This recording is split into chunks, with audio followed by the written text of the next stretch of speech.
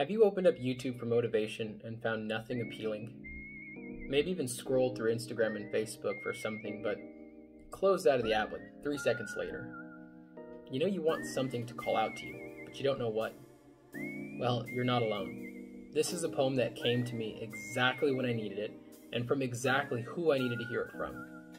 Welcome to Roblessed 101, my channel for expression and exploration. Today's piece is called Seasons. When it was hard to breathe is when I needed to be patient with myself. When it was hard to move forward is when I needed to appreciate what was around me. When I felt all was lost is when I had to remember what I was even searching for. I will remind myself every day that this season will pass. When the sun shines, when the trees go bare, when the flowers wilt, when the rains come and go. This season will pass, but I will remain steadfast. I will remain calm. I will remain with a smile in my heart, and a focus in my eye, and a resolution in my speech. My time will come, and when it does, I will remember the seasons because that's when it was all worth it. Well, that one was called Seasons. Let me know if its message landed with you the same way it landed with me. This is the beauty of poetry. You get exactly what you need from who you need it from. And that's ourselves.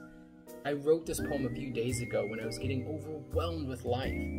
I knew I needed a mindset shift, but couldn't figure out what needed to shift.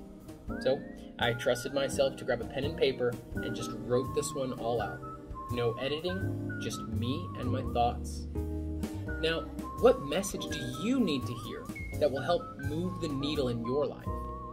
And what's a poem that you would love to hear but are too afraid to write it out? I'll share one.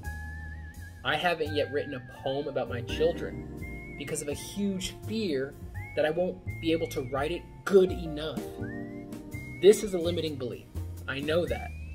Yet the fear is very well alive in my heart, and as of making this video, I still have not finished one poem about my three children. This is something I am working through, but it's necessary to say it out loud so that fear gets smaller and smaller. Stay tuned for more upcoming videos where I'll get more into poetry, idea sharing, and interviews with other aspiring individuals.